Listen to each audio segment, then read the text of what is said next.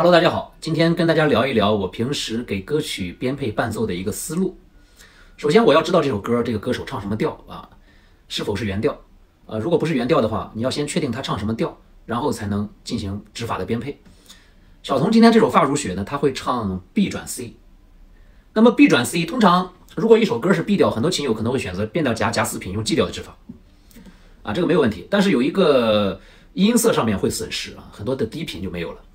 因为当你夹了四品之后，你最低的音就变成了六弦四品的升记啊，它没有再低的音，所以呢听起来会太飘逸，拖不住这个演唱者啊的声音，所以不是最佳的方案。如果我的话呢，我可能会选择夹二品，用 A 调的指法啊，用用 A 调的指法会能够用到非常多的空弦音啊，听起来非常的空灵啊。这首歌如果仅仅是 B 调的话，我可能就就会夹二品，用 A 调的指法了，那么前奏就可以变成这样。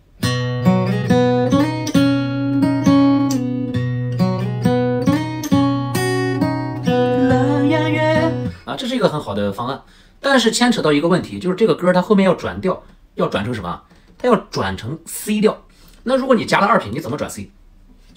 你加了二品，你转 C 的话，你就成了 A 转降 B 啊。那后后半程你就会很累，而且它后半段呢，它转调之后，它需要一个情绪的一个呃递进。那那么在这种情况下，你大量的横按呢，它势必会影响你整个整个这个情绪的一个释放啊。如果你后面用用降 B 调。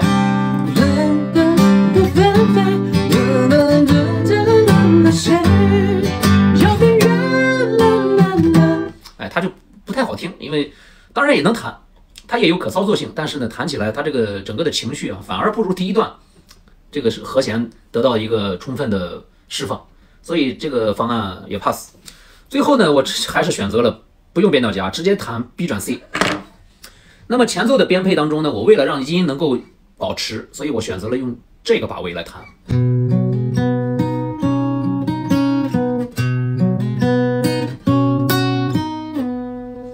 我为什么要编成这样呢？是因为我为了让更多的音可以保留的更久，它听起来更加的流畅，更加的温婉，更加符合这个歌的意境。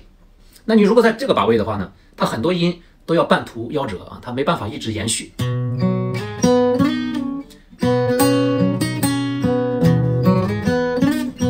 哎，所以我选择了在这个把位。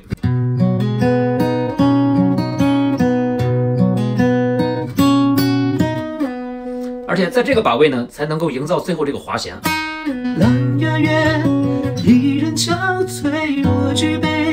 好，那接下来大家点一波双击，点一个关注，我们一起欣赏一下完整版。不要走开，不要划走哦。有请潘晓彤。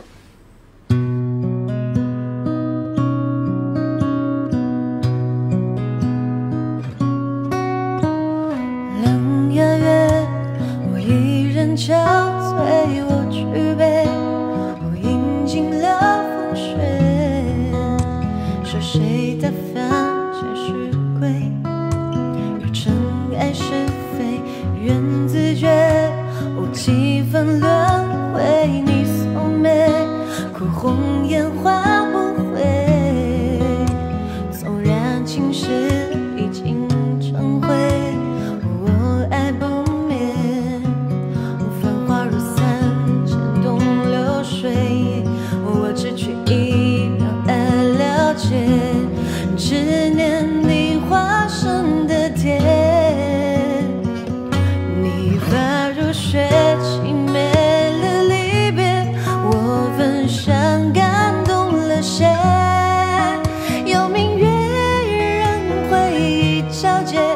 爱在月光下完美